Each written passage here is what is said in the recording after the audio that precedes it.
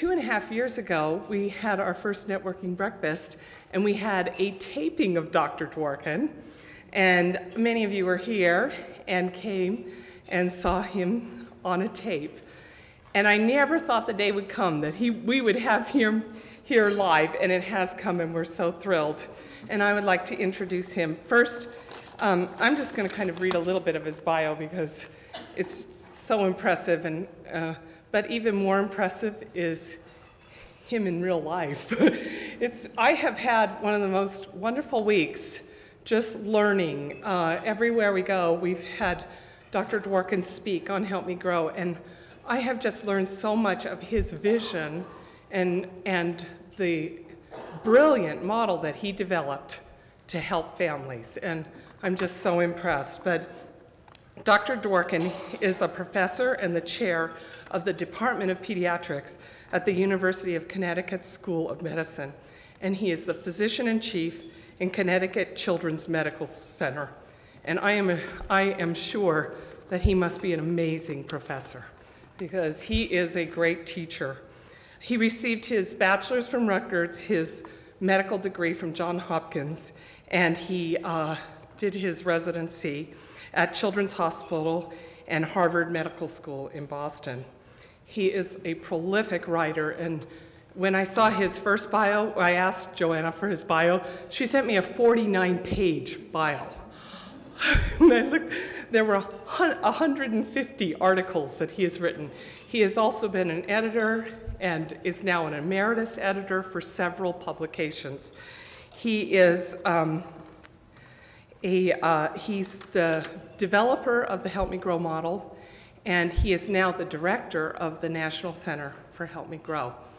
And just on a more personal note, he's one of the very, most kindest, just very um, elegant individuals. And I feel like it has just been an honor to be with him and to be with Joanna and Elsa. Joanna is the program manager for the Help Me Grow, and Elsa is an administrator for the Help Me Grow program. So with that, I introduce Dr. Dworkin. Oh. Thank you. Thank you. Well, good morning, everyone, and thank you very much, Barbara. I tend to wander a little bit, and I, well, I'll try not to do that with the cameras, but if you can't hear me for any reason, please let me know. So on behalf of Joanna and Elsa and myself, uh, we are so grateful to be here, and uh, we've just been overwhelmed by your hospitality. Uh, it, it, has been an extraordinary visit for us. When we uh, deplaned, within a very short period of time, we were brought to the Humanitarian Center in Salt Lake. And to say that we were inspired and humbled by all that we saw would be, frankly, an understatement. It's a bit daunting to see an activity of that magnitude and scope, and then to be charged with coming to try to inspire people. It certainly puts what we are doing in some perspective we are really pleased to be here. And uh, after that uh, very extraordinary and kind introduction, I was wishing that you would next see a videotape of me rather than to stand up live and speak to you. But I, I will do my best to even vaguely approach uh, Barbara's very laudatory and kind comments. This for us is a great visit because the networking breakfasts are really well, let me put it this way. If the info line, what in Connecticut we call a child development info line, is the brains of Help Me Grow, the networking breakfasts are really the heart of Help Me Grow, and you are really what Help Me Grow is all about. Ultimately, Help Me Grow is all about making linkages. It's linking children and their families to programs and services, and it's promoting and creating linkages among the people who are providing services at the community level, those who are supporting families within the sectors of child health, early care and education, and family support, and uh, all of us who are working together to try to create a system in support of young children's healthy development. I know that you're familiar with Help Me Grow, so I'm not going to speak about the basic components, although we've already touched on two of them actually the centralized point of access uh, to behavioral and developmental services, and the outreach to community providers, to child health providers that are so critically important. So I thought I would take advantage of your familiarity and also take advantage of Barbara affording me the privilege of just speaking with you, having a conversation with you, rather than giving a formal talk. I have no, well, that's not quite true. I was going to say I have no notes, but I did jot down a few things while Barbara was speaking, but otherwise, this is not prepared. So I'd much rather be spontaneous and try to uh, engage you in a discussion, and I'm hopeful that you'll even have some questions or comments or concerns or rebuttals to anything that I say. I assure you that we leave a visit like this with much more knowledge and information and inspiration than we leave behind. So our interaction with you is just uh, extraordinarily important to us. So as I was thinking about this networking breakfast, it reminded me that one of our strategies as we travel around, or even in the early days as we began to formulate the program that ultimately became Help Me Grow, was to try to capture the critical concepts that are the underpinnings to what we do, try to capture these concepts in a way that we could best understand them, share them, and apply them to our work. So along the way, we have coined some terms, some of which I think we, we have made up, others of which we've begged, borrowed, or stolen and adapted to our work. And now they've really become integrated in all that we do. So let me give you three examples that don't directly relate to networking breakfasts and then give you three that do directly relate to networking breakfasts and hopefully will emphasize the richness of what is actually going on within this room this morning. So first, let me just give you some more general examples that relate to the overall Help Me Grow program or system or initiative. So the first relates to the process by which we promote the early detection of children at risk for developmental and behavioral problems. So we haven't completely invented the term developmental surveillance and screening. Child health surveillance had been a term that was used in Europe to capture the content of child health supervision services, so-called well child care.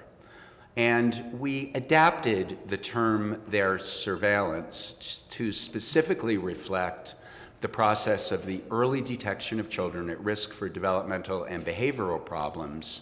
And it ultimately has been linked to screening, the ages and stages questionnaire, which I know many, if not all of you, may well be familiar with, into this process that now is termed developmental surveillance and screening, the process of early detection that has now been endorsed and promoted by the American Academy of Pediatrics since at least 2006, although the origins for it go back even earlier. So we're really proud of our work in promoting this concept, and the term developmental surveillance and screening has now come to reflect the process that we all do in partnership to promote this critical early detection of children who are at risk for developmental and behavioral problems and for whom linkage to the types of programs and services that you're associated with are so important. So that's example number one. Example number two is a term that I'm sure we've invented, and I don't even know if it's grammatically correct. So the term is demedicalization. And what do we mean by that? Well, if we look at what child health providers, and I've been a primary care pediatrician for a number of years, what we typically do when we're confronted with a child with concerning behavioral or perhaps even developmental issues, we tend to medicalize those concerns and refer those children on to the only resources that we are typically well familiar with a neurologist, a child psychiatrist, a developmental behavioral pediatrician, which I also am. And in all honesty, for the majority of those, those children, those referrals may be helpful in excluding medical conditions, which are rarely the cause for these concerns, but they're not very helpful in ensuring the proper interventions to address the behavioral and developmental concerns that parents raise. There are a couple of other problems with these types of referrals. First and foremost, they're expensive. Secondly, they're often difficult to access. There's a waiting list off a waiting time to secure these services. And third, as I've already suggested, they don't bring about the intervention that will really make a difference to the child and to the family. So what we found with Help Me Grow is that when a system is implemented to promote early detection and to link children and families to the appropriate community based programs and services that you represent, rather than, on average, 16% of these children and their families being referred on for further medical evaluation, only 4% are referred on for further medical evaluation. And the difference, the 12% difference, are instead referred on directly to the community based services, early care and education, family support, that are most likely to make the critical difference.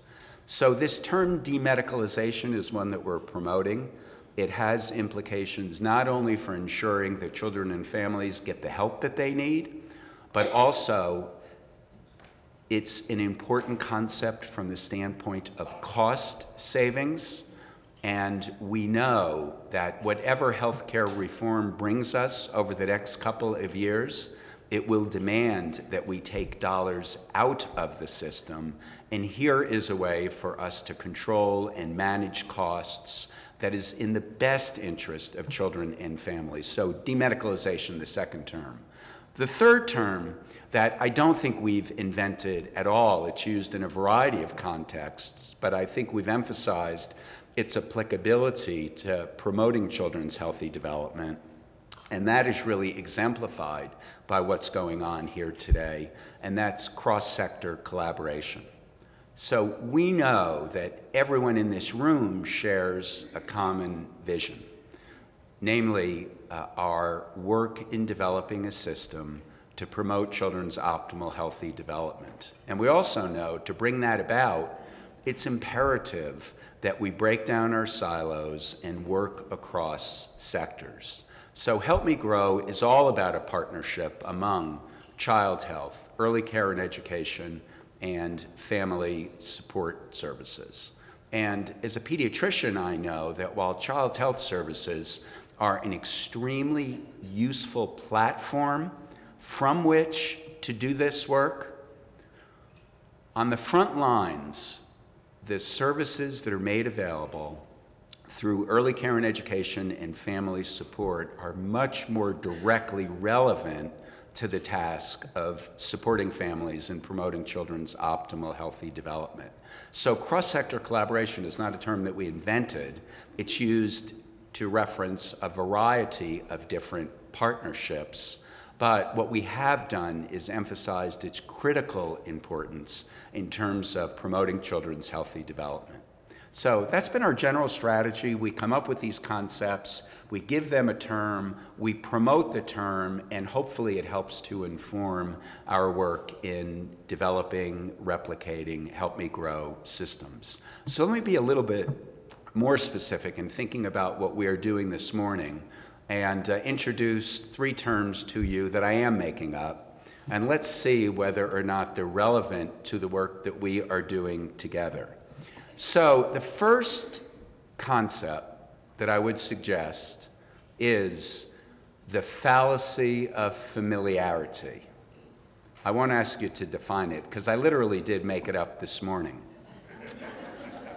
so, when we began thinking about this concept of networking breakfasts in Connecticut, we were far too limited in our thinking and we made a faulty assumption. Our assumption was that by bringing people together who were responsible for the wide array of community based programs and services in the early care and education sector, family support sector, and child health sector, that we would have a venue within which we could inform them about Help Me Grow, update them on Help Me Grow, answer questions about Help Me Grow, and promote their use of Help Me Grow. And that was true. That, in fact, has happened. But the faulty assumption we made was uh, in assuming that the majority of people within the room knew each other and we're familiar with each other's programs. And that was certainly not true in Connecticut. Now, that may be true in Utah, where everyone is so open and so friendly.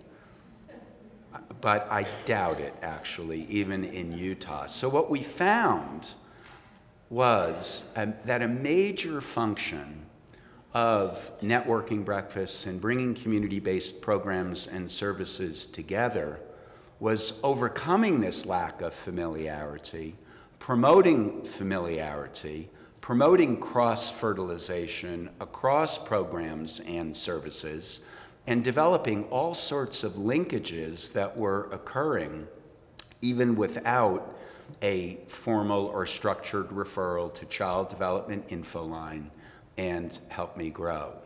So when we talk about the number of linkages to community-based programs and services that Help Me Grow facilitates, we realize, and we're so happy to realize, that it's only the tip of the iceberg. For as you get to better know each other and get to know programs and services, and as you identify children who are in need of those programs and services, to the extent that you can directly make the linkage, we say go for it. You don't need to involve another entity like Help Me Grow to make that linkage if you're confident and if the family is able to successfully navigate the linkage. So, this familiarity that we assumed to be present wasn't present.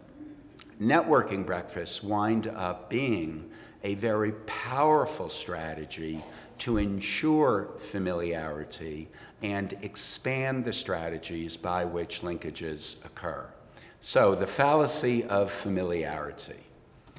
The second concept that I think has direct relevance to networking breakfasts and what you accomplish is what I will now call the fallacy of permanency. So, what in the world do I mean by that? Well, another component of Help Me Grow is the outreach that we do to child health with child health providers and their practices. And we very commonly go out to practices to meet with child health providers through our EPIC program, Educating Practices in the Community, and both talk with them about the effective approaches to early detection, so called developmental surveillance and screening, and what the Help Me Grow program has to offer in terms of enabling them to facilitate the appropriate linkage of children and families to community based programs and services. And very often, our child health provider practices will hold up their loose leaf binder that includes a wide array of pamphlets or notes or descriptions of community based programs and services. And our response to that, and we try to do this as politely and thoughtfully as possible, is that we're impressed by your recognition of the importance of community based programs and services, but we suggestfully, we respectfully suggest that you toss out the loose leaf binder because it will create more frustration than it will problem solve. And the reason that we say that is, and you're all well aware of this, particularly those of you who are involved with community based programs who survive year to year based on the resources or funding that you are able to amass. Programs come and go, their capacities change, their eligibility requirements change. So, the best of intentions in, to link a child and family with a program or service is often met with disappointment or even frustration because the program that previously would have well served the child and family's needs no longer exists. It doesn't have the capacity to accept a referral. It's changed its eligibility requirements. We've been so impressed in Help Me Grow with the critical importance of maintaining real time the capacity of a resource inventory and the need to capture up to date information on an almost daily basis about the specifics of the programs and services to which children and families are referred. I don't think this has been that well appreciated in the past. And certainly, I know as a child health provider, I also uh, went through the process of trying to gather program information, thinking that it would help me in the future. So, again, the fallacy of permanency. Programs aren't permanent with respect to even their existence, but certainly with respect to their capacity, their priorities, their eligibility requirements. And the work of maintaining an up to date resource inventory is another relatively underestimated yet critically important component of the Help Me Grow system. Third concept, and again, I'm making this up, so if it, if it doesn't make sense to you, please let me know. But the third concept that I'd like to suggest is the, you can see why I wrote these down, the bidirectionality of miscommunication. And what in the world could I mean by that? All right, well, let me tell you what I mean, but let me give you just a little bit of background. So, we've been involved in promoting this concept of developmental surveillance and linking it develop, to developmental screening for the better part of three decades. 1988 was the first time that I stood before a committee of the American Academy of Pediatrics that had been a longtime advocate of developmental screening, that is, administering screening tools as tests and scoring them and interpreting them and acting on them. And I stood before them not to discredit the process of screening, it is critically important, but to instead suggest that it be more broadly incorporated within this process of surveillance and screening that also emphasized the importance of eliciting and attending to parents' opinions and concerns performing skillful longitudinal observations of children, which, by the way, can be as, if not more effectively done in a variety of your community based settings than in the pediatrician's office, which may not reflect reality at all. Third, the importance of taking an informed history from parents that is asking about the acquisition of age appropriate milestones and the fourth critical component that we advocated for was when particularly concerns arise on, for a child's behavior or development, soliciting input from others who know the child, a home visitor, an early care and educational professional, a preschool teacher, a school teacher, those were the components of surve developmental surveillance that we began to promote.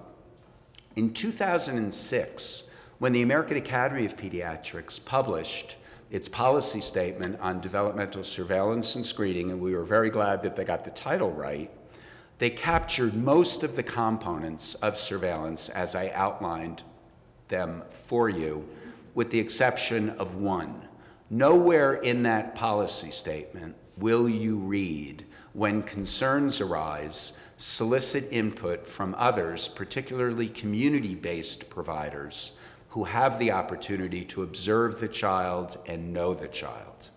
So, was that simply an oversight?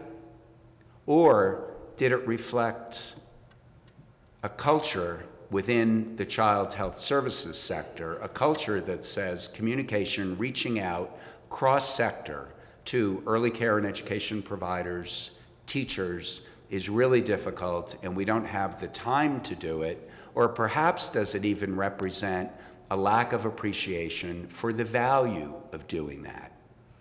I can vouch for the logistical difficulties because I've been in a busy practice setting dealing with children, for example, with school related problems where it's critically important to speak with teachers. And I know that I can't make a spontaneous phone call to the school and hope to be able to reach a teacher any more than a teacher can make a spontaneous phone call to my office and hope to immediately reach me.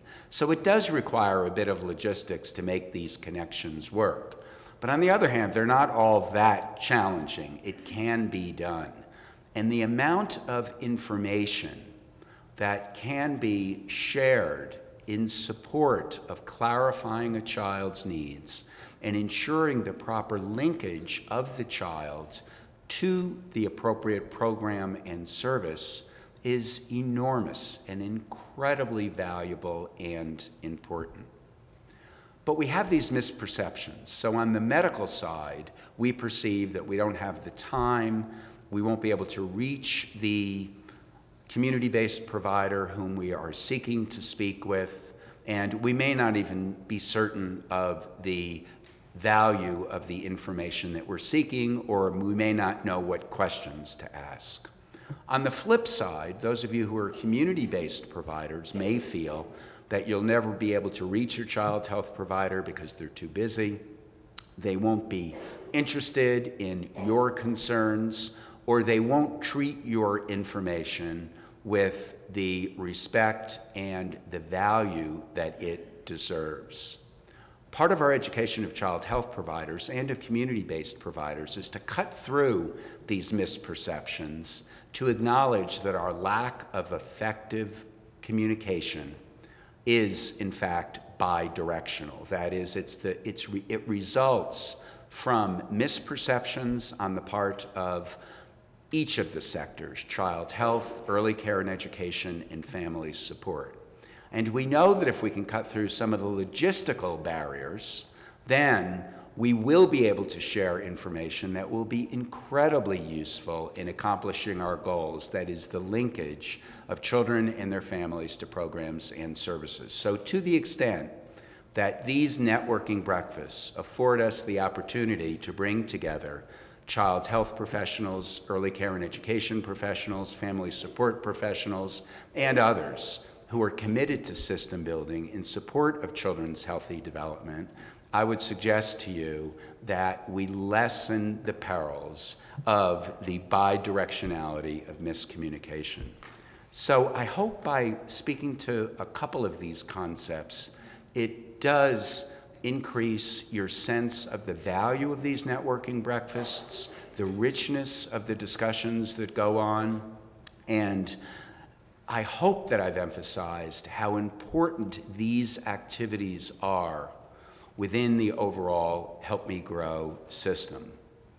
So I'm happy to take any questions or comments or any further discussion that Barbara would like, but I want to thank you all so much for coming and thank you for affording us the opportunity to visit with you and meet with you. Again, I assure you, to the extent that we inspire you at all, that's great, but there should be no doubt as to the extent to which uh, you have inspired our efforts and uh, will uh, really inform our work as we return home and continue this extraordinary opportunity that we have to work with 16 states around the country uh, to replicate this program. So thank you all very much.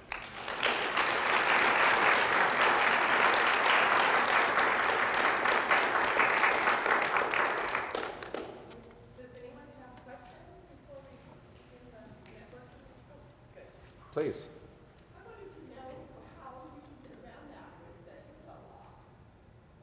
With, so the, uh, the issues of HIPAA or FERPA and how do we share information, correct?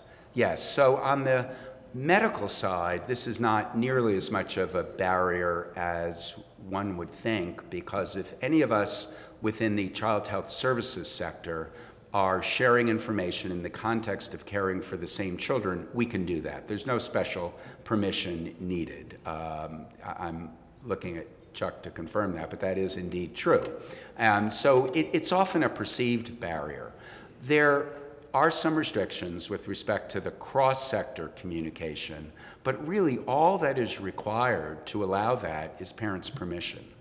Um, so that's how we get around it. We, any information is always shared with the full consent of the parent. Please.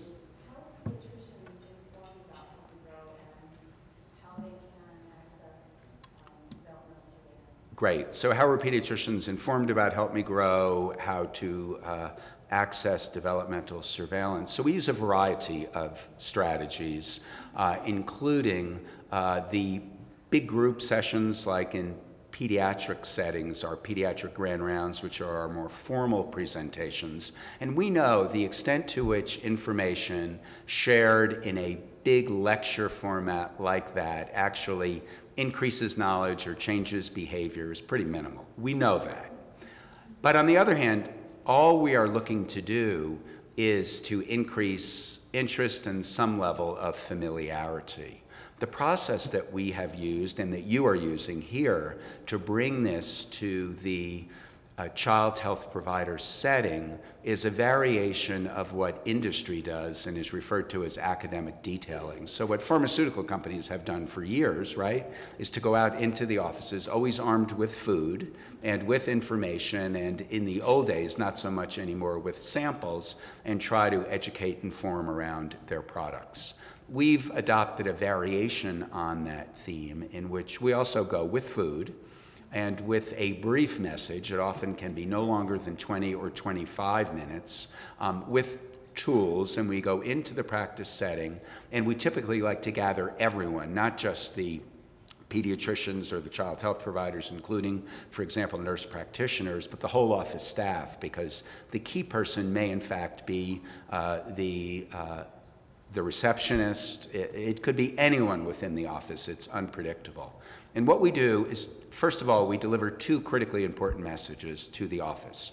We are actually asking you to do less rather than more. Uh, we're going to give you some tools that will enable you to do that. And number two, we're going to make your job easier rather than harder. So if you make those two pronouncements right from the start and you come with food, you can often get a few minutes of at least attention. And then we talk about the process of surveillance and screening, and we emphasize that we can make the job of child health providers so much easier by, for example, providing access to a tool like the Ages and Stages questionnaire, uh, such that child health providers can fulfill expectations to perform developmental screening without actually having to do anything in the office other than receive the results of the ages and stages questionnaire screenings. And we talk about the process of surveillance and the key, the really key step of simply at every visit asking parents, do you have any questions or concerns about your child's learning, behaving, or developing? And then our second major point that we make in this very brief educational session is that if all we do is come out and teach you how to better identify or detect children who are at risk for developmental and behavioral problems, but we don't provide a mechanism whereby that child and family can be linked to a program and service, that early detection will certainly not be helpful to the child and family. In fact, I think you could argue that it's unethical because all you have done is raised parental anxiety and maybe even an element of parental guilt without providing a solution. So we talk about Help Me Grow, its effectiveness in linking children and families to programs and services. And in Connecticut, our refrain is 1 800 505 7000. Operators are standing by and ready to take your call. And it literally is that simple.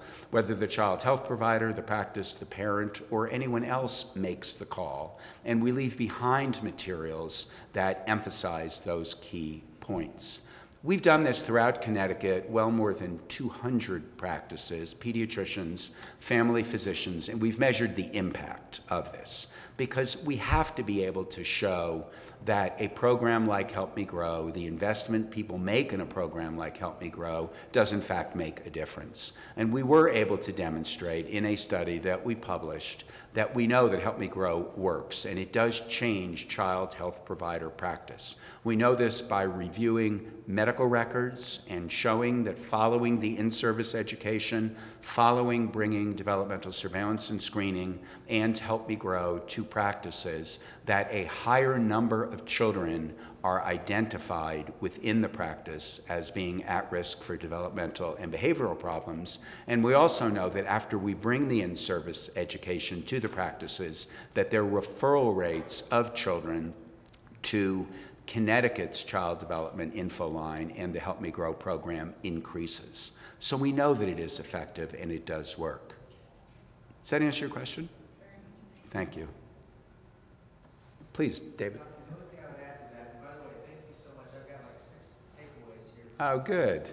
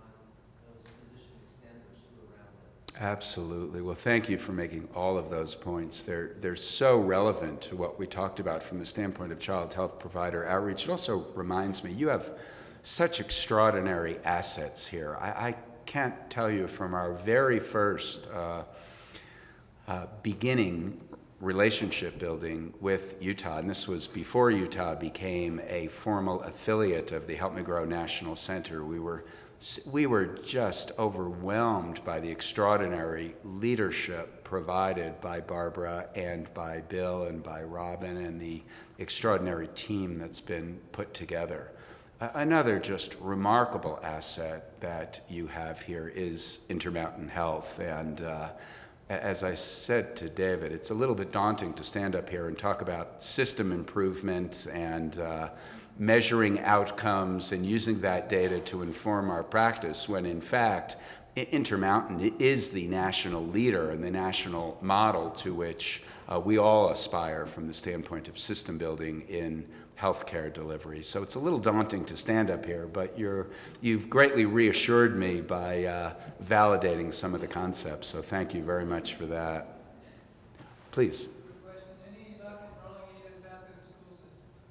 Well, the school systems, that's a great point, and we've even had some uh, discussion here about the opportunity in the Utah Valley to do just that.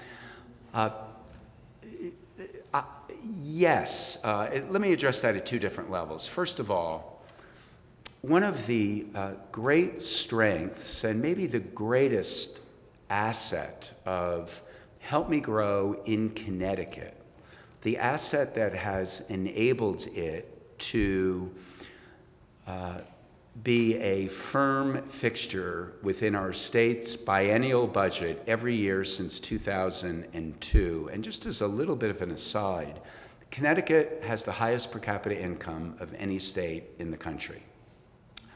It also, just so you don't think our job is easy, it also plays host to three of the 10 poorest cities of their size in the country. And in fact, Hartford, our state capital, where we work, the home of the Help Me Grow National Center, is the second poorest city of its size in the country behind Brownsville, Texas. So we are a state of incredible contrasts in income, in quality of life, in disparity, in gaps.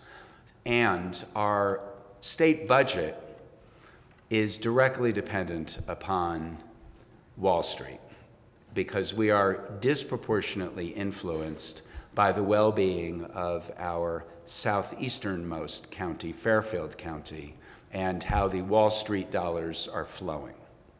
So we are at times the beneficiary of a state surplus. You are at present, which is great.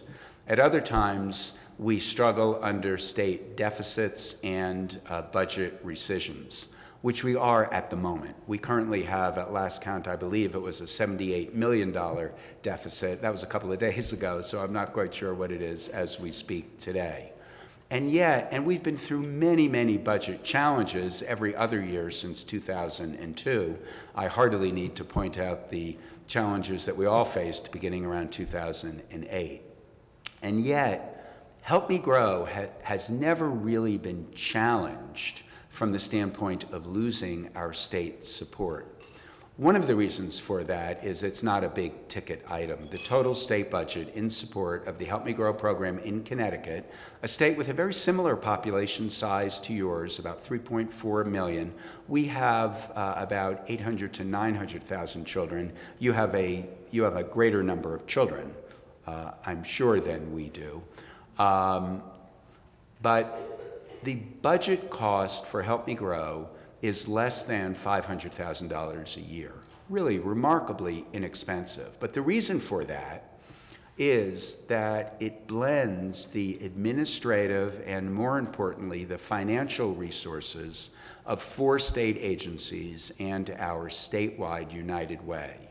Our Department of Social Services, which is our Medicaid agency, our Department of Children and Families, our Child Protective Services agency, our uh, Department of Developmental Services, which is our early intervention agency, and our Department of Public Health, which is our Children with Special Health Care Needs agency. And by the way, in Connecticut, Help Me Grow is a program of our Children's Trust Fund, our child abuse prevention agency, which up until recently was another freestanding state agency, but has now been incorporated under our Department of Social Services. Did I say the department's right?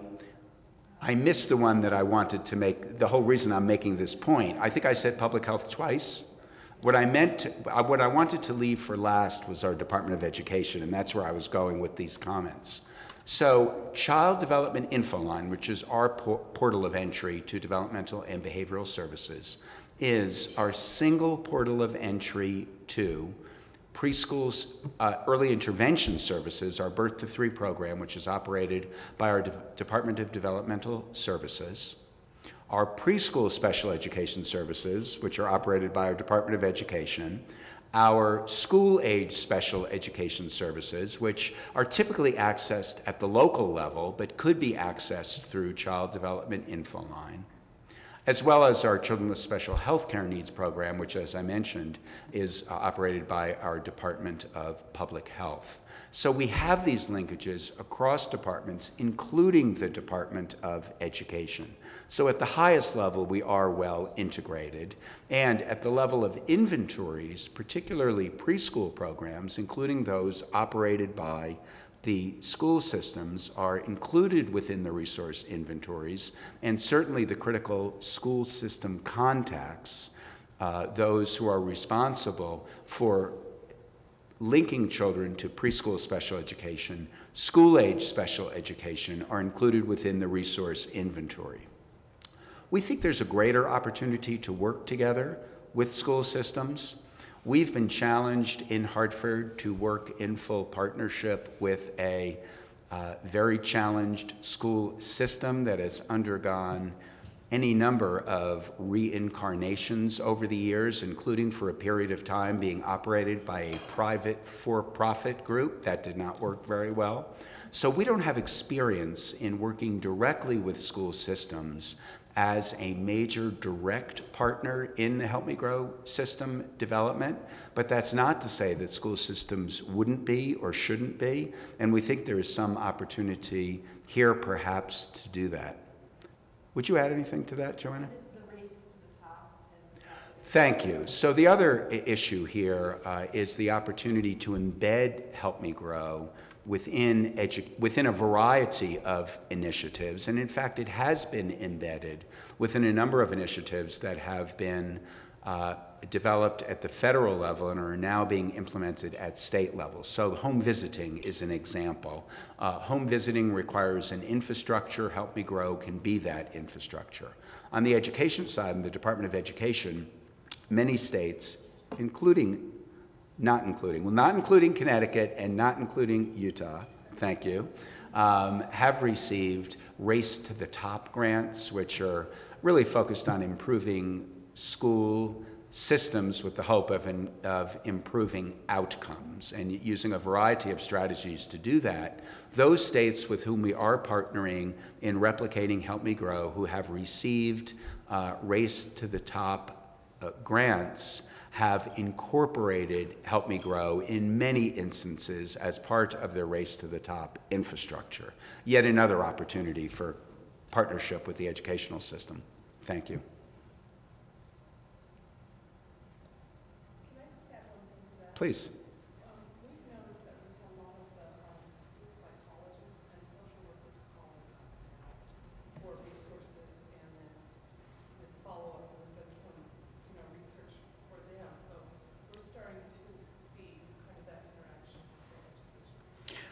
That's a great point. So, school system personnel now using Help Me Grow to identify resources. And this is the point that we have made whenever we're asked what's the relationship between Help Me Grow and a wide array of other services focused on and again, I'll refer to it most generically as children's healthy development. So, for example, when home visiting was starting to gain momentum at the federal level and states were increasingly interested in securing federal dollars to expand their home visiting systems, um, we were asked, what is there a relationship between home visiting and Help Me Grow? And our answer, without much hesitation, was of course. And in fact, it's bidirectional. And think about it it's very similar to your relationship. In fact, it's identical to your relationship to Help Me Grow here. On the one hand, we know that the Help Me Grow resource inventory needs to capture all of those services that can be brought to bear in promoting children's healthy development, including, to the extent that it exists, home visiting services. So home visiting is a critical component where it exists in Help Me Grow in the Help Me Grow resource inventory. But the flip side is that home visitors need to be able, in support of their clients, in support of the children and families that they're serving, need to be able to efficiently identify the programs and services that they can bring to bear in support of families. And as knowledgeable as, as they or you are in your local resources, none of us can possibly be knowledgeable enough to know where all the programs and services are.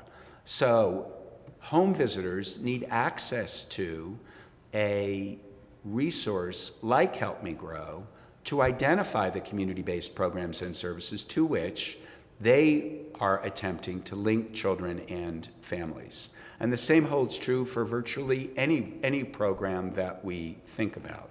So it's not surprising at all that there are these synergies. We just need to recognize them and, and operationalize them. Please.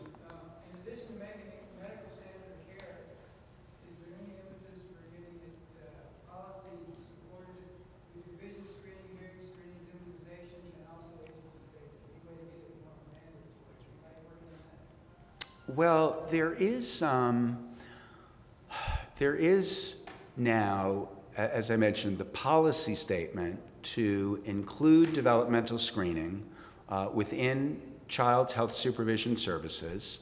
The uh, accredit- accreditation agencies like uh, uh the uh, NCQA, uh, my medical resources left the National Committee on Quality Insurance, Assurance has, right?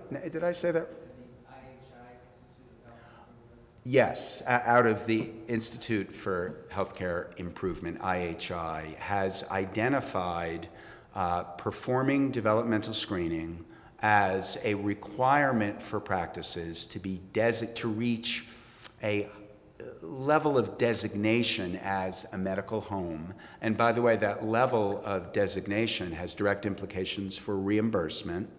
And a number of managed care plans have now built in not just reimbursement for developmental screening, uh, as, a, as an incentive for child health providers, but have also built in requirements for developmental screening as one of the quality indicators that they require practitioners to submit. In fact, there was just very, within the past couple of weeks, there was a threat that with Medicare uh, realignment, that the code used for developmental screening was going to be dropped.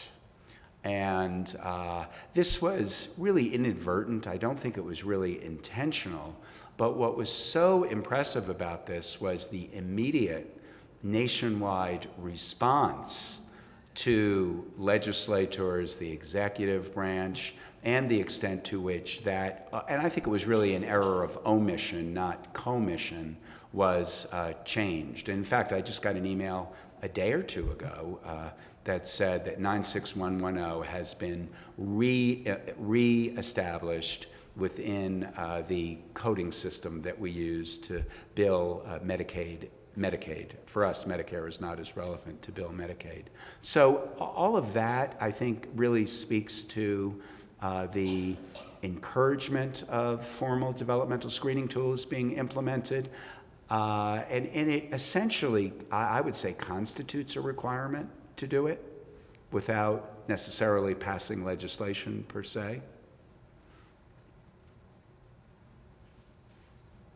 Well, thank you all very much for your attention and your participation.